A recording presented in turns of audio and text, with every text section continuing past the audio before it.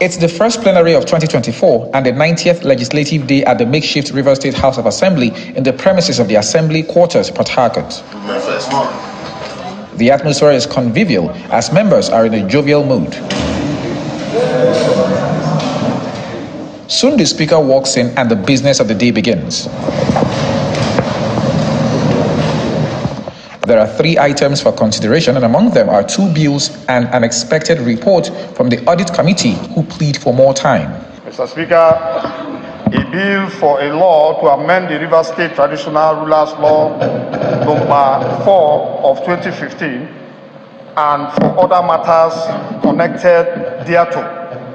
Mr. Speaker, this bill has three clauses.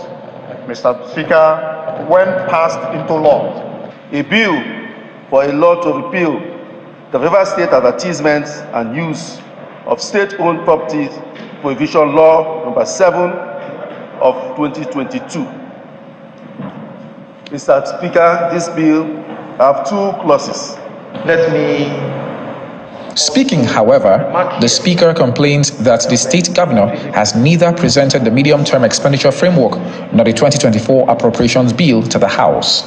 The 2024 appropriation bill is yet to get to this August Assembly. As it stands today, we have not received the medium term expenditure framework. We have not received the appropriation bill for 2024. It means the state at the moment is operating without a budget for approved by this August Assembly in line with the 1999 Constitution as altered. Speaking to pressmen, however, the member representing Asari Toru, Honorable Enemi George, explains the idea behind both bills and denies that they are targeted at weakening the governor's power. The House is not taking away the power of the governor to do anything. We're only strengthening democratic institutions. If we've made laws to strengthen local government institutions. We're also making laws to strengthen traditional institutions so that traditional rulers can independently perform their functions without fear or intimidation. We need them to be more active in governance. We need them to be more active in the democratic space.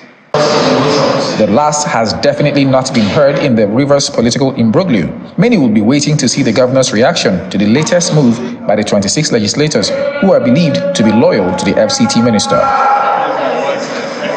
Charles, Upper Room, Channels Television News.